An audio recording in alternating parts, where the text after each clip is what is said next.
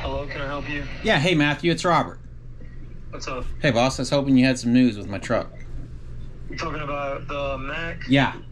Yeah, uh, we put the actuator on it, sir, and I drove it and I got 20, 22 pounds of boost out of it. Yeah. Something like that. The old actuator was definitely acting funny. Yeah, you think You it's know what I'm fixed? So, I mean, I'm not going to be able to get full boost out of it. I mean, I actually feel like maybe I could get full boost out of it um, If you it was know, uh, loaded? without a trailer, but you kind of need a trailer. Yeah. Okay, so you think I could just come get it this weekend then? Yeah, I mean, you can come get it anytime. Okay. Yeah, maybe we'll plan for that. And I'll uh Right. what do I owe you? Uh, right now you only owe me a couple of hours, so like uh, two two sixty. Okay.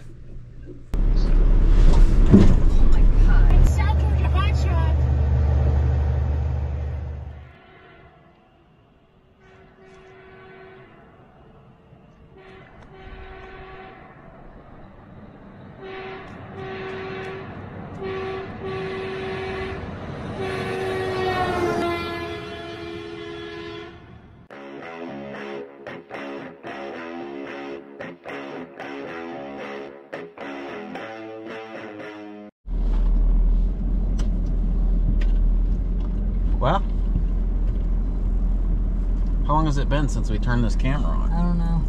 I don't even remember. How long has our truck been at the shop? Do you know? No, You really don't know? not really. Three and a half weeks. Yeah. Actually, okay, three weeks and um, three days. Yeah, so that'd be three three and a half weeks, right? Three and a half weeks. If uh, if I fail in this industry, it's it'll be on the mechanics. Yeah. Like I have the money to get my truck fixed. So basically, we end up taking the truck down there. I don't know if I've explained this or not. But we take the truck down there. And as I'm dropping it off, this mechanic basically tells me he doesn't like working on trucks anymore. He just wants to uh, do a couple of service calls. This is what he said. He doesn't like to work on trucks anymore. All he really wants to do is get like two easy service calls, two like hose replacements, like a busted radiator hose on the side of the road, and to go home for the day. Yeah. That he doesn't enjoy it. He doesn't want to work on trucks anymore. So he's telling me that as I'm dropping my truck off. Right? And I basically just told him, you know, I'm I explained to him before I even took the truck down. Look, I think our turbo actuator something's not right. I'm not sure what's going on here. Showed him the computer that uh, the company sent me. I'm like, look, I don't know if it's I don't know if it's the computer that they sent me isn't putting it in the calibration right or what. I was like, please just put your computer on there, run it through, and see what's going on. Well, about two weeks goes by. No, about a week goes by. I was like, hey, you know, anything yet? He's like, ah, you know, I'm really back. Okay, I will say this: when we, when we dropped the truck off, he said there was two people ahead of us. He says, but it should only take a couple of days to, to knock these two trucks out. So I'm thinking, okay. So I gave him a week before I went past them. Then he came back and he's like, well, this one truck's kind of been a pain in the butt, blah, blah, blah. Okay, whatever. Two weeks goes by. Still hasn't really looked at the truck. Um, I'm like, do you think it, it could be the actuator? I'm like, if, if it's the actuator, let me know, and I'm gonna call the place that I ordered the actuator from, and we'll get a new actuator. That way, if you go finally dig, I, I didn't want him to go digging into this thing and be like, yep, the actuator's bad. Now we have to wait a couple more days for the actuator again. So I contacted uh, HD Turbo, I think is where we where I ordered from, or Turbo HD, or or something like that. Great people. I called them up. I'm like, hey, you know, what's what's the chances of one of your new actuators being bad? like, well, we test them all before they go out the door. Excuse me. We test them all before they go out the door, but I mean, there's, guess anything could go bad. They're like, let me go ahead and overnight you a turbo or a turbo actuator. Again, I'm like, fantastic, let's do it. I'm like, instead of sending it to my address now, can you send it to my mechanics? Because my mechanic's two and a half hours away. Not a problem. Give us the address. We'll overnight it. Bam. Hang up the phone with them. Get a uh, email notification saying that it's being overnighted with FedEx and that it'll be there the next day by lunchtime. Next day rolls around. I'm checking the, the FedEx tracking and it shows that it arrived in Gainesville, but then it's like delayed.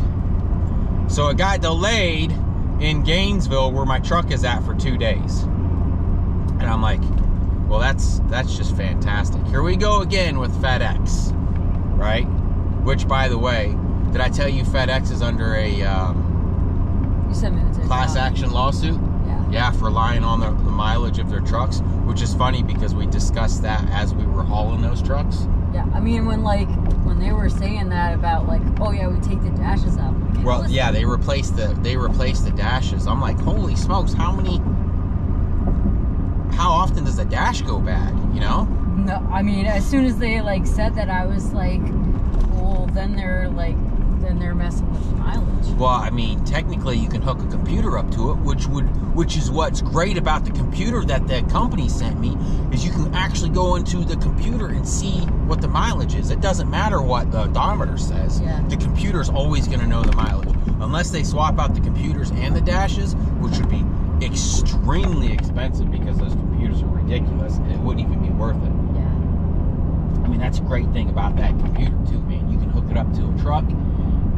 A, a lot of the older trucks, well, a lot of the older trucks have the flipper type, and you couldn't really check on a computer, anyways. But yeah, anyways, that's crazy, right? What was I talking about before you distracted me with the FedEx trucks? You brought them up. Oh, no, what was I talking about though? Uh, the mileage, seeing the mileage. No, crap, I We're don't know. talking about the computer. Oh, FedEx losing the. Oh, uh, yeah. FedEx. Yeah, so they lost the package for two or three days. Finally, they get it delivered. And now we're sitting on three and a half weeks. Finally, I call them up. I'm like, which no, I told them on like the second week. I'm like, bro, I've, I've got to, we've either got to jump on this truck. We, we have to figure something out with this truck, whether I come get it or whatever. It was 4th of July weekend or week or whatever you want to call it last week. So I kind of figured out, you know, everybody's going to take off a couple of days for that. I didn't want to hound them around the holidays, but like three and a half weeks to hook your computer up to it and to, I mean, literally, it's, it's a five minute job to, to hook your computer up to it, put it through the calibration process to see if the actuator, like, like I was telling you guys when I would hook the computer up, I couldn't really hear the actuator do the calibration like it was supposed to. I'm like, just hook your computer. Just just tell me if it's my computer or if it's an actuator. The old actuator was definitely acting funny. Like I don't do this for a living, you know. Well, finally, we get the new actuator sent, and then finally, I guess he spent some time on it, and he said, yeah, the first actuator was definitely bad. So, which it was, the computer was giving us a fault code for the actuator. But I was like, I don't know if I'm doing this right. You know what I mean? I don't, I don't do this for a living. But I figured, like, according to the instructions on the computer, I, I figured the actuator was bad. So, said he put an actuator on it, took it for a test drive. Another bad thing is, is he can't technically drive the trucks because he doesn't have a CDL. So it's not like you take your truck to him, he can like test drive the truck. But he said he ended up getting like 23 pounds of boost out of it, which is what I ended up getting out of it. So it's either fixed or it's not fixed, right? Like I hooked the trailer up to it, and that's what I would get. But I could also get that without hooking the trailer up to it. And I'm pretty sure, I'm pretty sure I could get 40 pounds of boost out of that truck, bobtail. Yeah. I mean, you'd have to get on it. but I'm pretty sure I could get 40 pounds of boost, or relatively close, more than 23 pounds. So I don't know. We're headed down there now. We're gonna be going live tonight to give away this AC. Kind of disappointed in that. I think we only raised $145. It's probably gonna cost more than that to ship that thing because it's a giant battery on the bottom of that. But I'm not gonna take away from the money that was donated to give to a dog shelter. I'm just gonna pay for shipping out of my pocket. And we'll donate that 145 to a dog shelter. Yeah. So we we lost money giving that away. I killed myself on that commercial, sitting in that porta potty in the hot heat.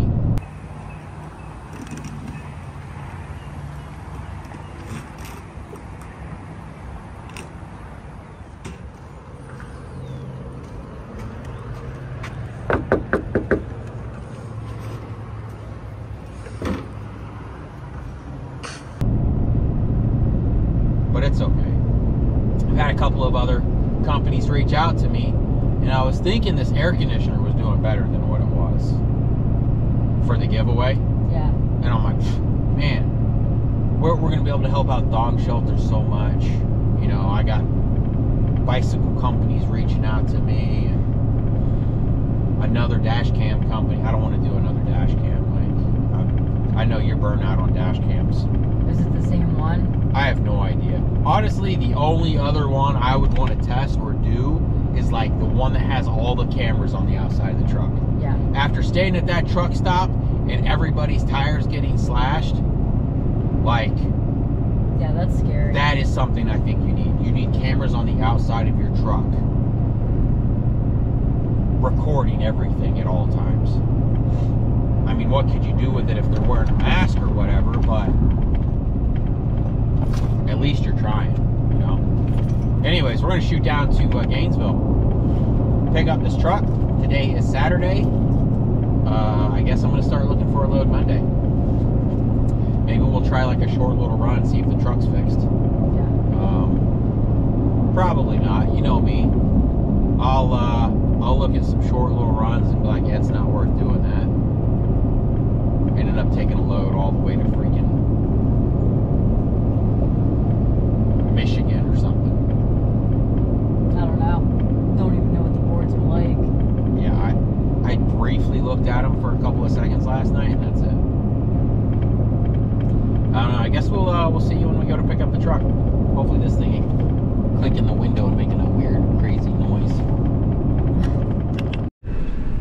All right. Well, we've got the uh, we've got the truck.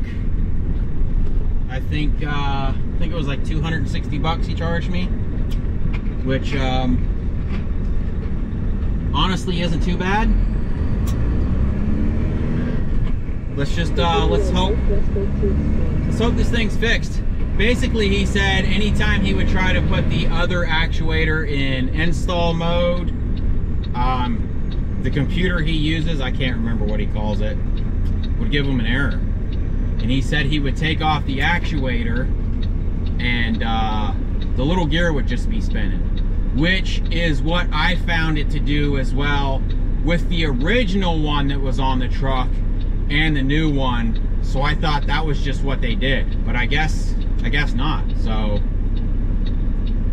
he said that's usually what he sees in a bad actuator is when that gear is just spinning when you take it off. So I don't know. We'll take this we'll take this thing home, find us a load for hopefully Monday or Tuesday, and uh, see what kind of boost we can make. I mean, I'll be honest with you, like it seems to be boosting faster than what it was when I had that other actuator on. Like it's, I had to really get on this thing in order for it to make, like it's, it's making over 10 pounds of boost right now and I'm barely creeping along.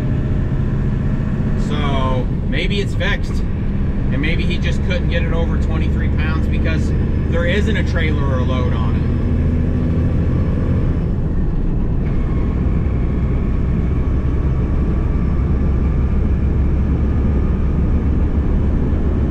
Yeah, maybe there just isn't enough load on here to make over 23 pounds of boost. So,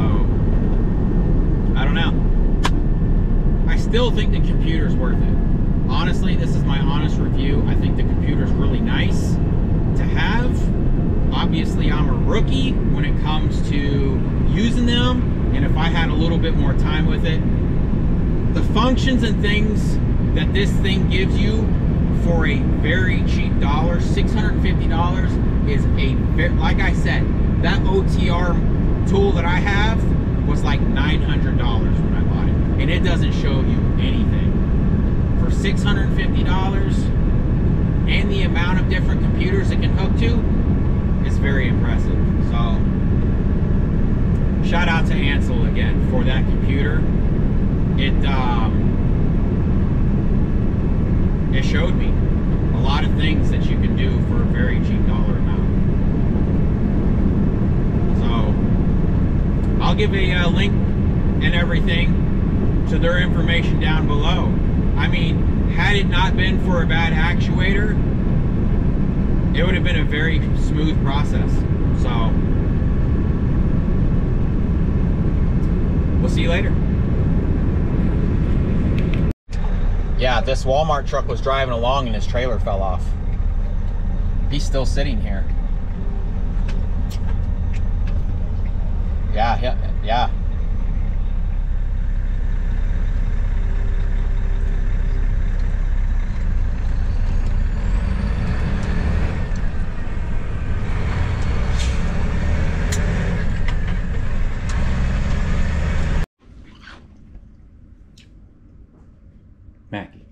Say something to camera.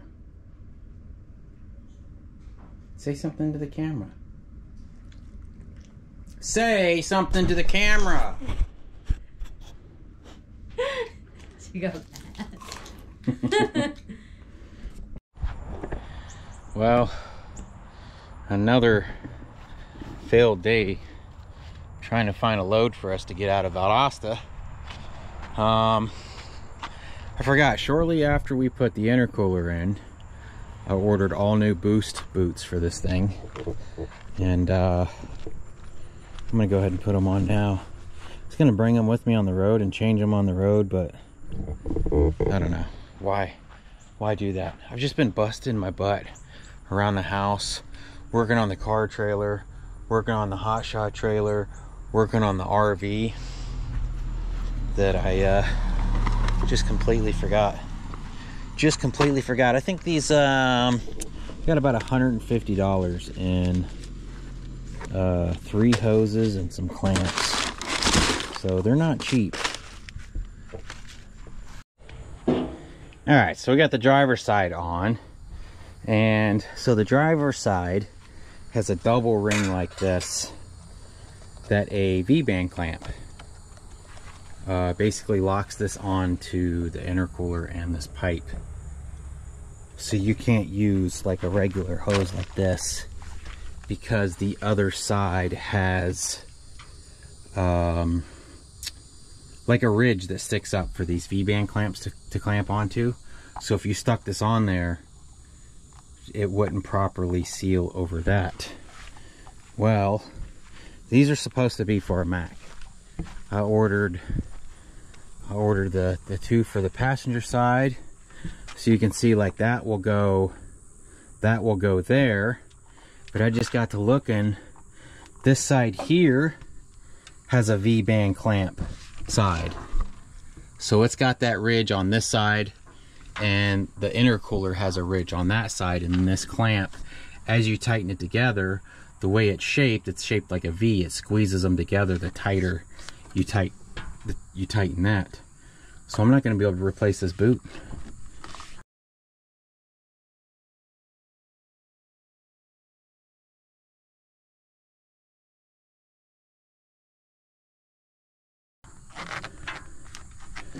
Which um, which is a bummer. Because I wanted to get all these boots replaced. Uh, so now I got to order a boot that has a normal side on one side and then the V-band clamp on the other. Oh, that's a bummer. And uh, I don't know. I guess at least we got one replaced. I'll go ahead and throw these other two in the truck just in case. Man, these things weren't cheap either. Those things are, uh, they're proud of those boots. Yeah, that's a bummer. Looks like uh, when he replaced my actuator, because these are two coolant lines that run to it. And when you take these coolant lines off, coolant comes pouring out. So you want to try to swap them over real fast or you drain the coolant. Ask me how I know because I put the other one on, but I topped it off. It looks like he didn't top it off for me, so looks like I'm gonna have to get some radiator fluid because we're down below the minimum mark now. Got a fuel, I can go ahead and replace that fuel filter too while I'm standing here. I don't know. I know I've said this before, but freight is really, really bad right now. Like, I finally settled on. I'm like, all right, you know what? I'll just 250 a mile is now my new minimum. And now you can't find a load for 250 a mile. They just don't exist. They're either overdimensional or they have 800 different stops.